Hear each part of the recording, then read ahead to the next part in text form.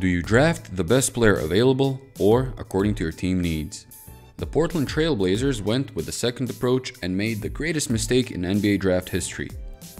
After the Rockets picked Olajuwon with the number one pick in the 1984 draft, the Blazers were choosing between Sam Bowie and Michael Jordan. They went for Bowie, as they already had Clyde Drexler and Jim Paxson taking care of the perimeter.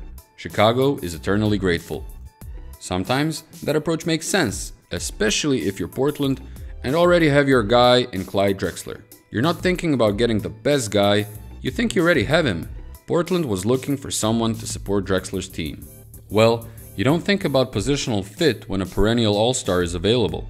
And even at the time of the draft, a lot of people knew that Jordan would be more than that. Back in those days, there was no one and done. MJ spent three years playing for Dean Smith and made his mark on the college level. During his three seasons with the Tar Heels, Jordan averaged 17.7 points a game on 54% shooting. MJ did more than collect stats. He made the game winning jump shot in the 1982 NCAA championship game against Georgetown, which was led by future NBA rival Patrick Ewing. All that was enough for Coach Knight to make a bold statement before MJ ever set foot on an NBA court. The kid is just an absolutely uh, great kid. If I were going to pick uh, the three or four best athletes I've ever seen play basketball, he'd be one of them. I think he's the best athlete I've ever seen play basketball, bar none. If I were going to pick people with the best ability I'd ever seen play the game, he'd be one of them. If I were going to pick, pick the best competitors that I'd ever seen play. He'd be one of them. So in the categories of competitiveness, ability, uh, skill, and then uh, athletic ability, uh, he's the best athlete. He's one of the best competitors. He's one of the most skilled players. And, and that, to me, makes him the best basketball player that I've ever seen play. When Bobby Knight says something like that about a player and he's on the draft board, you select that player in a heartbeat. The Blazers weren't convinced, so they reached out to Knight and shared their personal concern with him.